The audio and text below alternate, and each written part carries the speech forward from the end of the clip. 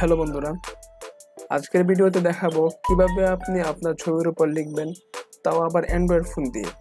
আমরা যখন ফেসবুক বা টুইটার ব্যবহার করি, তখন কিন্তু আমরা দেখতে পাই ছবির উপর খুব সুন্দর করে কিছু লেখা থাকে। তো আজকের ভিডিওতে দেখতে পারবেন কীভাবে নিজের ছবির উপর বা যে কোনো ছবির উপর আপনি আপনার মোবাইল ফোনটি ব্যবহার করে লিখতে পারবেন বা টাইপ করতে পারবেন। এবং এখানে আপনি অনেক সুন্দর সুন্দর ফন্ট ব্যবহার করতে পারবেন। তো এই বিষয়ে সম্পূর্ণ জানতে হলে ভিডিওটা সম্পূর্ণ দেখতে থাকুন। আর হ্যাঁ ইউটিউব আর্নিং চ্যানেলটি যদি আপনি এখনও সাবস্ক্রাইব করে না থাকেন, তাহলে অবশ্যই ইউটিউব আর্নিং চ্যানেলটি সাবস্ক্রাইব করে রাখবেন। ধন্যবাদ।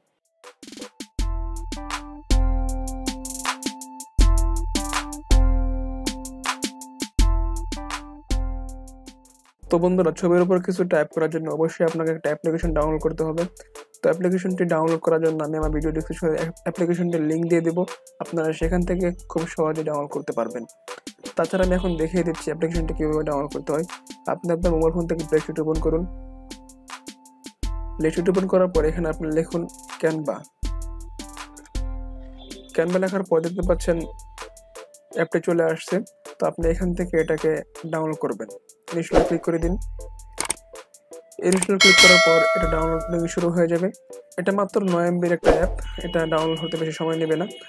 তো অ্যাপ্লিকেশনটি যখন ডাউনলোড হয়ে যাবে, তাছাড়া এই অ্যাপ্লিকেশনটা যদি আপনাদের প্লে স্টোরে পেতে কোনো সমস্যা হয়, তাহলে আমার ভিডিও ডিসক্রিপশন বক্সে অ্যাপটির লিঙ্ক পাবেন। আপনারা সেখান থেকে খুব সহজে অ্যাপটিকে ডাউনলোড করে নিতে পারবেন। তারপর আপনাকে যেটা করতে হবে সেটা হলো, এখানে দেখতে পাচ্ছেন অ্যাপ্লিকেশনটি ওপেন তো আপনি এখান থেকে অ্যাপ্লিকেশনটি ওপেন করুন।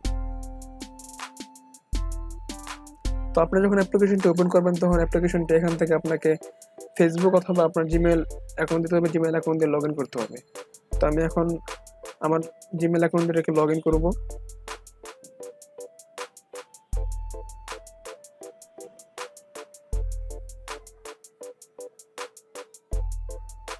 তো আমি আমার জিমেল অ্যাকাউন্টটি দিয়ে দেওয়ার পর এখানে দেখতে পাচ্ছেন অ্যাপ্লিকেশনটি ওপেন হয়ে গেছে। আপনাকে অবশ্যই ফেসবুক অথবা জিমেল অ্যাকাউন্ট দিয়ে আপনাকে অ্যাপ্লিকেশনটি সেং আপ করতে হবে। আপনি যখন অ্যাপ্লিকেশনটি লগ ইন করবেন, তখন আপনাকে অবশ্যই জিমেল অথবা ফেসবুক অ্যাকাউন্ট দিয়ে লগ ইন করতে হবে। তারপর আপনি এখানে দেখতে পাচ্ছেন অ্যাপ্লিকেশনটি ওপেন হয়ে গেছে অলরেডি তো এখানে দেখতে পাচ্ছেন ইনস্টাগ্রাম স্টোরি তো আপনি ইনস্টাগ্রামের জন্য যতগুলি পিক বানাতে চান তো আপনি এখান থেকে খুব সহজে পারবেন।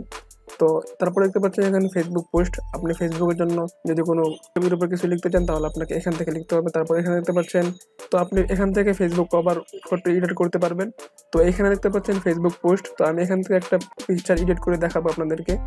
তো আমি জাস্ট এই পিকচারের উপর ক্লিক করে দিলাম।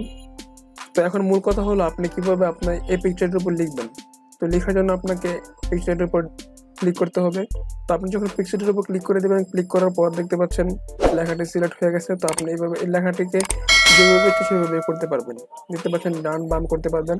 তো আরেকটা কথা হচ্ছে যে আপনি এই লেখাটিকে কীভাবে চেঞ্জ করবেন। তো এটাকে চেঞ্জ করার জন্য আপনি লেখাটির উপর ডবল ক্লিক করুন। ডবল ক্লিক করার পর দেখতে পাচ্ছেন চলে আসছে। তো আপনি এখান থেকে আপনার লেখাটিকে সম্পূর্ণ কেটে দিয়ে আপনি আপনার মন মতো যা ইচ্ছা তাই লিখতে পারবেন। আপনি এখানে আপনার মন মতো যা ইচ্ছা তাই লিখতে পারবেন। তারপর আপনার যখন লেখাটি শেষ হয়ে যাবে, লেখাটি শেষ হওয়ার পর, এখানে টিক দিয়ে দিবেন।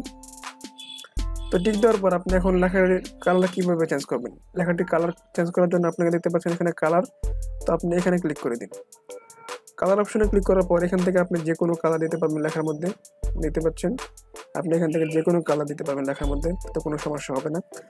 তো আপনি একটা কালার সিলেক্ট করার পর এখানে টিক দিয়ে দিন।